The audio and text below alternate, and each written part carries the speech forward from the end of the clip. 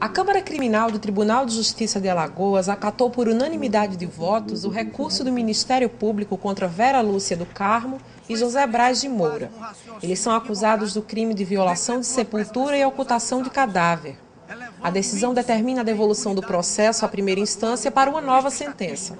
O juiz havia acolhido a tese de prescrição, mas, segundo o desembargador relator Orlando Manso, os crimes só prescrevem no dia 26 de março de 2009, quando se completa oito anos do recebimento da denúncia. Tal decisão não pode ser acatada,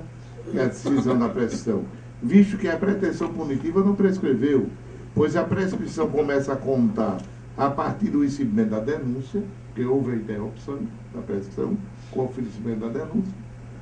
em 26 de março do ano de, de recebimento da denúncia, aliás, em 26 de março do ano de 2001